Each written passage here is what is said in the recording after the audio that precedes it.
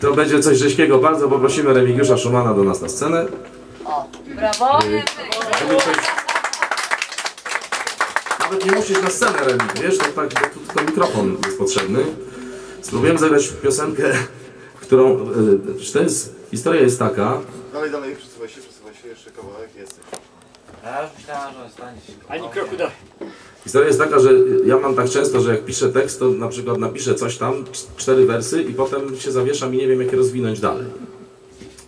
No i napisałem takie cztery wersy, zainspirowany różnymi tam sytuacjami, które się działy. W międzyczasie udało nam się spotkać Remigiusza. Poznać, spotkać. Poznać, spotkać, poznać, spotkać i poznać.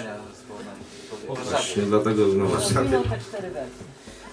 I powiedziałem mu, stary, ja tu mam takie cztery wersy, może byś coś do tego tu skrobnął, wiesz, taka jest idea, tak nie wiem, tylko nie wiem co tam dalej. No i tu jakby Remigiusz skrobnął.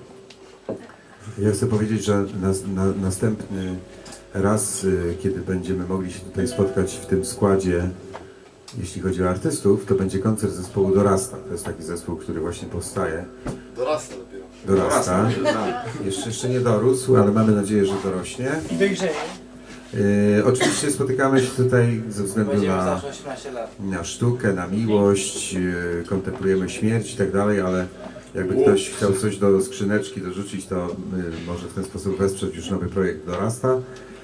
Mm, bo ja z Poznania, dlatego tak mówię.